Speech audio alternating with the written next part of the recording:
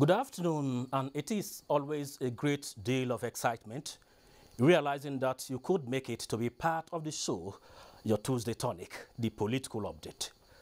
15 by-elections conducted on Saturday, 5th of December 2020. Yes, by-elections, but not bygone issues.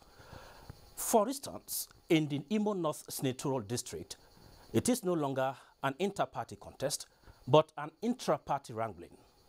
Two APC candidates fighting for the soul of the certificate of return. Be that as it may, it was 3-3 draw for APC and PDP for the 6th senatorial district elections. Congratulations. Was well contested. The word many may not want to hear resurfaced in Bakura State constituency of Zamfara State. It is an inconclusive election. So, more lobbying for the candidates, more resources needed by INEC. While in Ghana, candidates for the presidential election are in a prayer mode because the election was conducted on Monday, December 7th, and the counting of ballots ongoing. These and more form the content of today's program for your digest. I am Mie Ogede.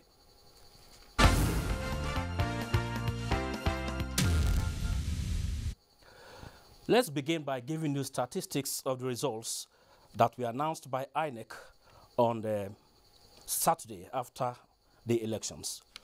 We begin from Bayelsa State. The Bayelsa Central results show that Moses Cleopas of PDP is the winner, while Abel Ebifemowei of the APC came second.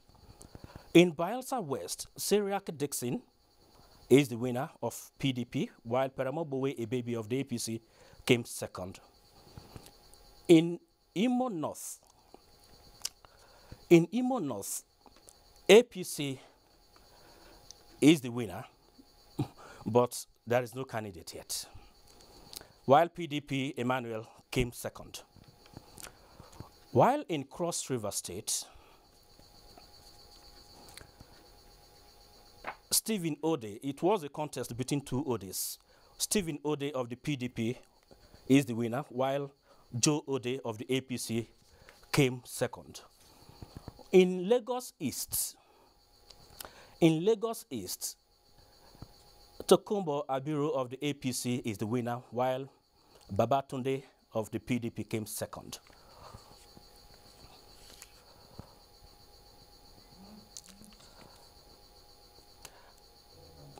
Okay, then finally Plateau South, Professor Nora Ladi of the APC is the winner, while George Daika of the PDP became second.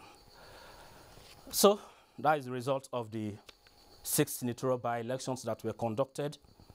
Of course, nine state constituency elections were also conducted, but those were for the state's consumption.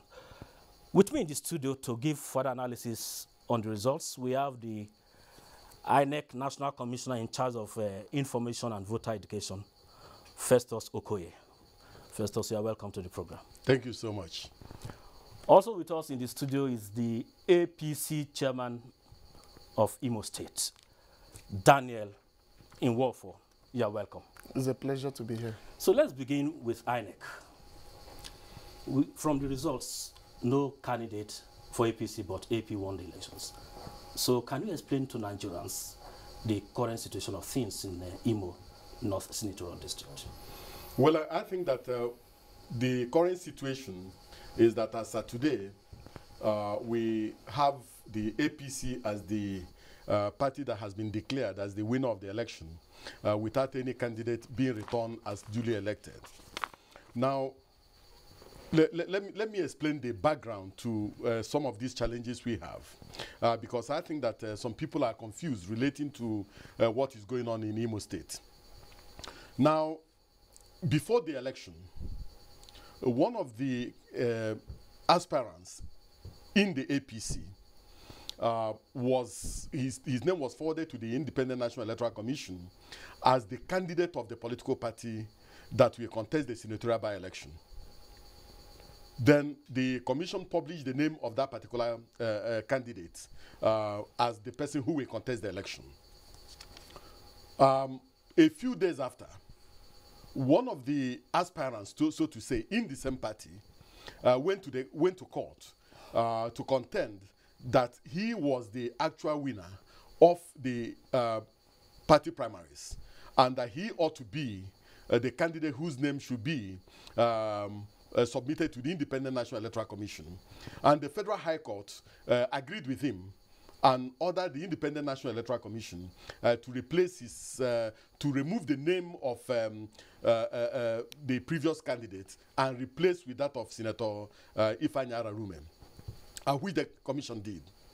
Now, on, on Friday, just a day before the election, the Court of Appeal, sitting in Owerri, um, delivered a judgment and contended in the judgment that one, that the court that gave the judgment, that is the Federal High Court, did not have jurisdiction uh, to give the judgment on grounds that uh, the issues uh, at stake were within the domestic realm of the political party and made a declaration that his name should be removed from uh, uh, the list of candidates contesting the election.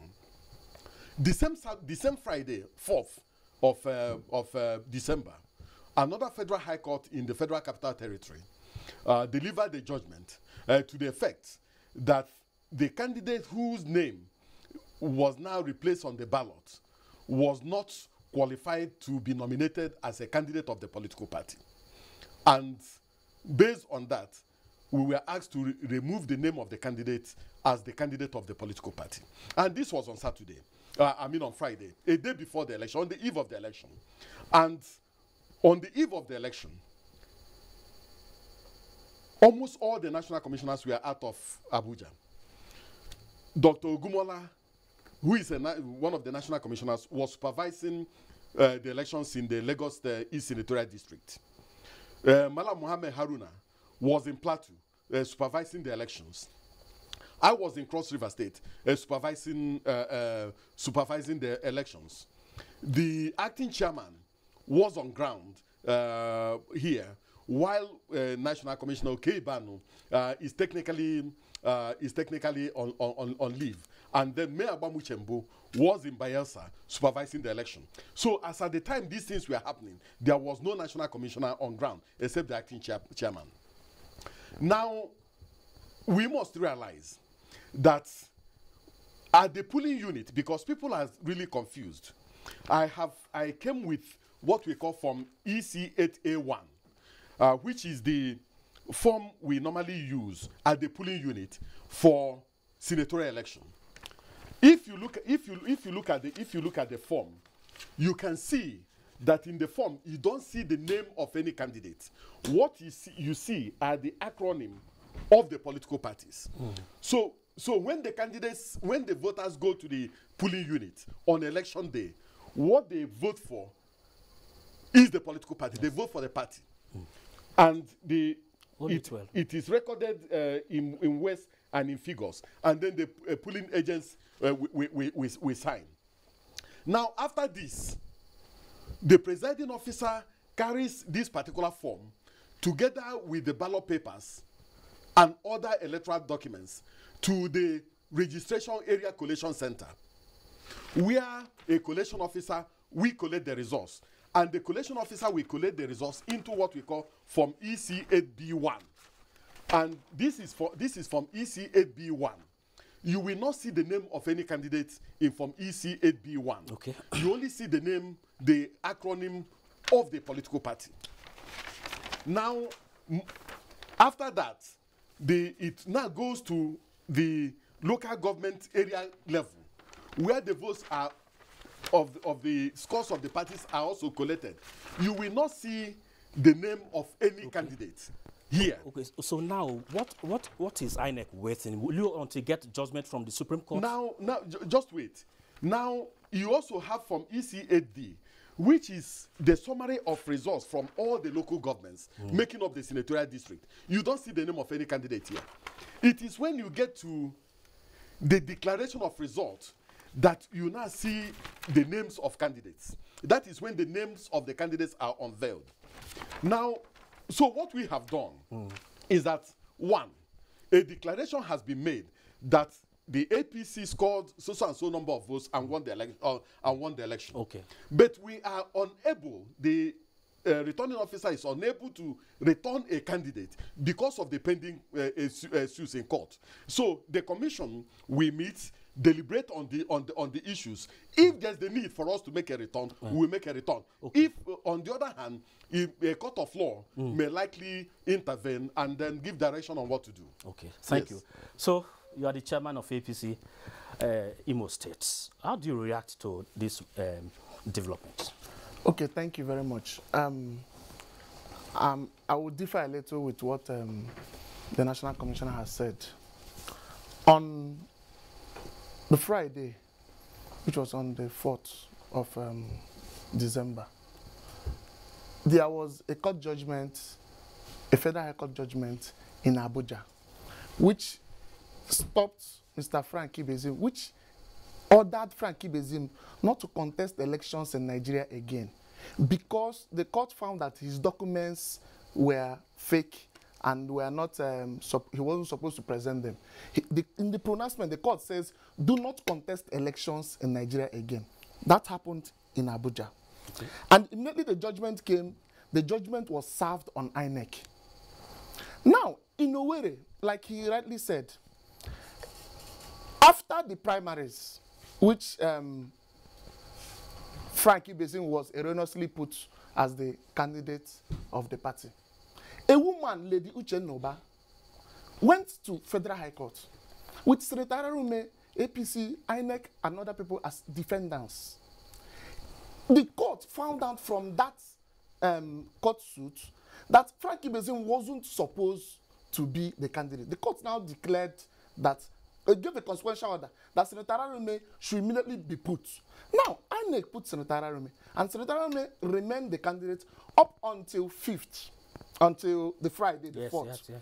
Now, when the Court of Appeal gave a judgment, the Court of Appeal ruled that the judge, the court suit which Senator Arame was standing on wasn't supposed to be in the first place. Now, we found, um, we quarreled with the judgment. Immediately after the Court of Appeal uh, judgment, we filed a stay of execution and we filed a notice of appeal. And that same Friday, I am aware that INEC legal department was served. Okay. On Friday, I am aware they were served. Immediately you file a stay of execution of a judgment and you file a notice of, of, of appeal, like he rightly said. These people, he said his national commissioners were not around. Yes. The legal department of INEC is aware, and we have um, the, the um, received copies of the service. INEC is aware that we serve them. So you- of so the party in the state- Now, if these people were not around on Friday, who changed Arame's name? That's the question. Okay. Who changed his name? So the eh, From Friday, six, even the judgment of Court of Appeal, we received it 6 p.m. on Friday. so are- are you the party? Where who is your candidate at the state level? Senator Ararume remains the candidate of the party. So are you people are uh, taking this matter to the Supreme Court, or you want to well, still we expect settle INEC, with we INEC? expect INEC to do the right thing. So- In the first place, we now, from what he has said now, we will now begin to query who removed his name. Okay. Because he has said that they were not around. Okay. So how was his name changed from 6 p.m. to um, 6 a.m. the next morning? So for Who now, changed his name? so for now, no legal uh, issue has been taken. we are considering all options. okay. Like But we expect INEC. what are to- some of the options? No, no, no. The first option is that INEC should do the right thing. INEC should declare Senator Ararume. The winner. He's the winner. He won the election. His name was there up to 6 p.m. He's a candidate of the party. So INEC should declare him, and then every other matter, people should go to tribunal. But, but do you think uh, it's a matter you cannot settle within the party and come up with a common ground and present to INEC You see, you see, the problem, and, and resolve it internally? the problem we have in Nigeria, we're beginning to have, is that we're beginning to over, overlook court judgments and court pronouncements. Okay. It has been a problem. I've, I've been suffering that problem. Even he knows with INEC, but that's a, a matter for a separate day. What we expect INEC to do is to obey all court pronouncements. Okay. Okay. Let's briefly hear from Festus. Yes. Festus, he, he made a very valid point here. The national commissioners were not around.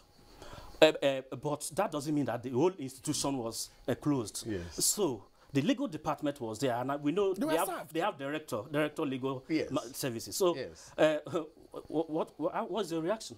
Um, we had a Zoom meeting uh, when we got uh, these judgments. Okay. And we directed appropriately on what should happen.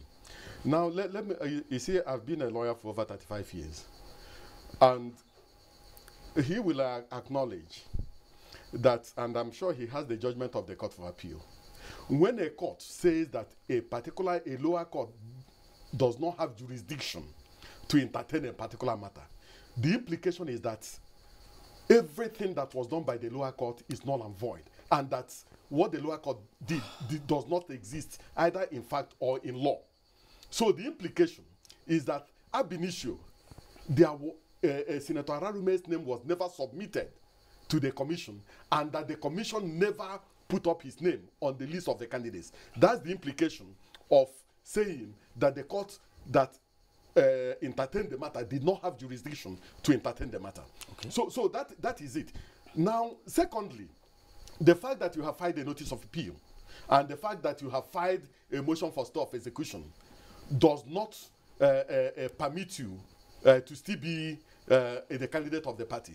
This commission, the Independent National Electoral Commission, acts only on the basis of court orders and judgments. We don't act on the basis of anticipatory orders and anticipatory judgments. There, is, there was no stay of execution of the judgment of the lower court, of the court of appeal, and there, there, there has not been any determination. So, on the basis of that, we will not. You can file a. I'm a lawyer. You can file a notice of uh, a stay of execution and withdraw it the same the following day. So, but if there's a valid court order, we will definitely obey. In relation to this, there was no valid court order from any other court. The only order we have is the order from the Court of Appeal uh, saying that the lower court, the, that's the Federal High Court in Owerri, did not have jurisdiction uh, to uh, entertain the matter. And consequently, the, the, the Court of Appeal set aside the judgment of the lower court. And that was exactly what, what happened. And I have the, I have the judgment. Okay. And it was served on us. And then the, the Federal High Court here also in Abuja set aside Ju- just hold yes, on. eh. the Federal High Court here also made a declaration, Okay. made a ruling, and gave an order that Frank Ibezim was disqualified from being nominated as the candidate of the party. That left us with the party on the ballot with no candidate. Okay. And that's exactly the position of the law. Festus, we still come Yes. back to you and uh, uh, the chairman, uh, APC Imo State. But uh, there was also a sad development in Bayelsa State. A, a, a, some police officers lost their lives. And we have the Commissioner of Police, Bayelsa State, so here the latest development. Uh, Commissioner um, uh, Mike O- Okoli, uh, Commissioner of Police, Bayelsa State, if you can hear me loud and clear. I'm with you. I'm with you. Okay, let's briefly hear from you. Where there is this report that you lost some of your men on that Saturday uh, election. Can we please hear from you and, uh, as of this moment, the development, whether the corpses have been uh, recovered or all that? It was really a very sad moment, an election that was progressing peacefully. All of a sudden, we heard of that uh, capsize. Uh, it was so devastating.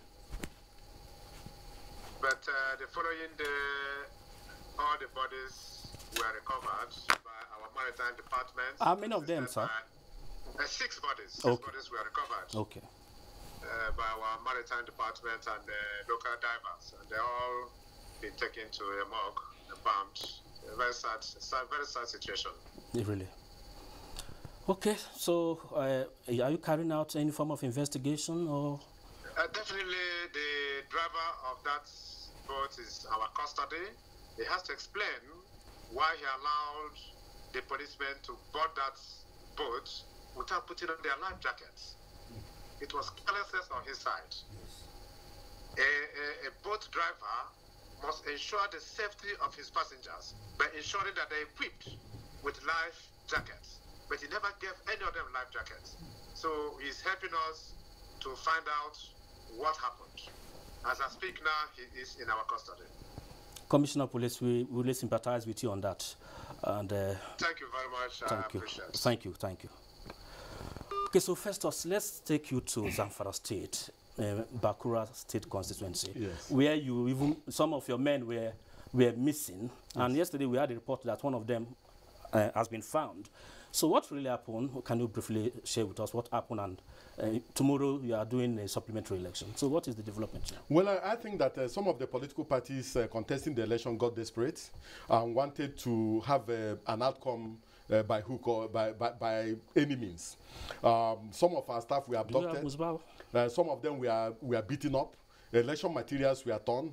Election materials were snatched. And this, as far as the commission is concerned, is completely un unacceptable. Uh, so, uh, based on the provisions of Section 53 of the, of the Electoral Act, um, where there is any form of overvoting, uh, the law permits us um, uh, the, the law permits us uh, not to declare the results from those particular areas, but to cancel them uh, because they are null and void.